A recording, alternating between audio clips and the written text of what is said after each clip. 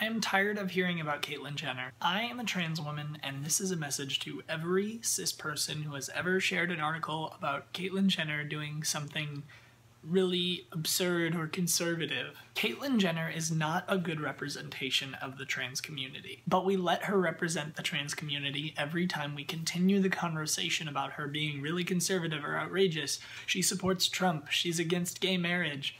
Okay, when will Trump represent all cis people? You know, that's the question. That is active participation in giving her more of a voice in the trans community when we could be giving it to other people. If you look in the comment section on these articles, you'll see that people use these instances as excuses to spout transphobic garbage and to continue just living very transphobically. So if you find yourself about to share an article about Caitlyn Jenner said she supports Trump, don't.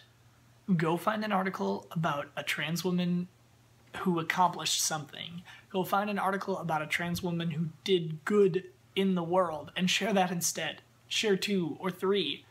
Keep sharing those instead. Start contributing to a culture that celebrates the achievements of trans women rather than focusing on the ones that we can demonize. When people say that Caitlyn Jenner only hurts the trans community, they're blaming her for a society which forces individuals of marginalized communities to represent their entire communities. If you have something to say about what I had to say, comment in the video down below, maybe like it, maybe subscribe, maybe even share it. Oh, and if you use Caitlyn Jenner's old name in the comments, I will delete that comment.